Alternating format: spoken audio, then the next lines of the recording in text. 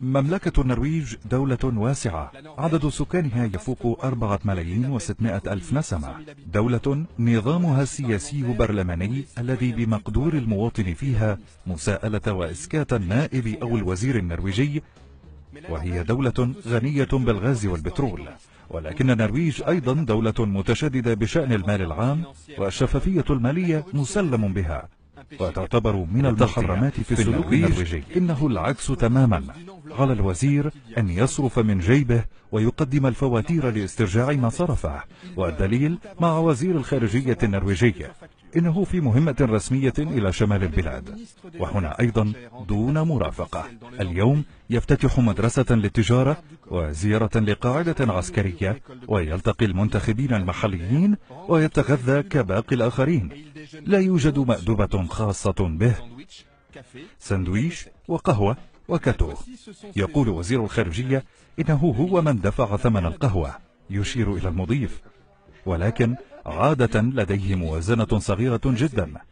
خمسون يورو لوجبتين ومائة وعشرون يورو للفندق. هناك مصاريف متصلة فندق ووجبتين مغطاة من الدولة. وإذا تجاوزنا فإننا ندفع من جيبنا الخاص. مساعده يحتفظ بالإيصالات والفواتير لسيارة الأجرة لأنه يعلم أنها مطلوبة منه. في رحلة العودة في الطائرة يصطف الوزير كباقي المواطنين ليحجز في الدور والطابور. ليس بالضرورة إن كنا وزراء أن نكون مختلفين يقول وزير الخارجية.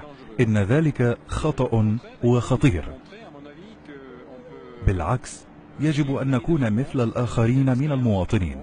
نعيش مثلهم ولا نختلف عنهم.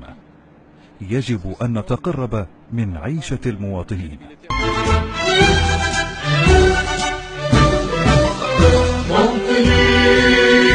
موطني الجلال والجمال والسناء والبهاء في نباء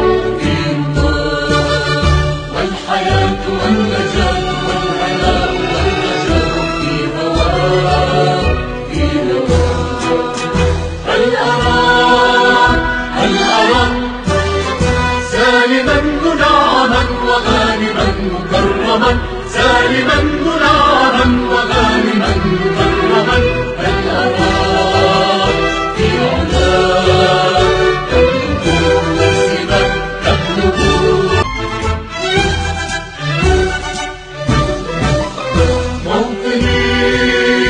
موطني الجلال والجمال.